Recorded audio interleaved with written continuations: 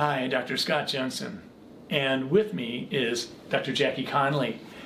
And oh, by the way, she's my daughter. I'm so proud of her. She's a family doc just as I am, but she will far exceed anything I've done in her career.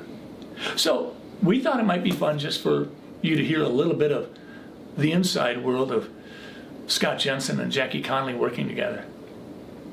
Do you mind sharing, Jackie, with uh, people listening? Uh, what's it been like working with your dad? It's been it's been wonderful. It's been very fun. Uh, I have learned a lot from you. I have learned a ton, but I also think that I've taught you some. We we uh, trained in different times, and so we can both learn from each other. But uh, one of the things that I've always remembered and hear every time I step in to do a surgery is don't go where you can't get out of. And the other day that was particularly important, I was doing a surgery and I had removed the growth and all of a sudden I looked and I thought, well, that's a that's a little bigger than I anticipated. but I heard you in my head say, don't go where you can't get out of. So I took a step back, took a deep breath, and went through and closed up that defect beautifully. I was very proud of myself. I think you would have been too.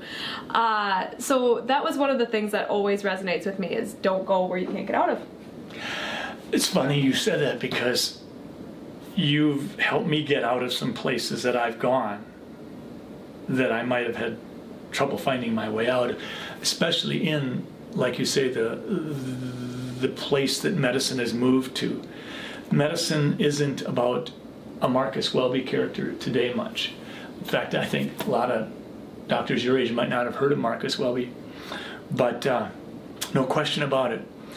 There have been times where I'm just dumbfounded as to why medicine is doing this or why this has become the accepted standard.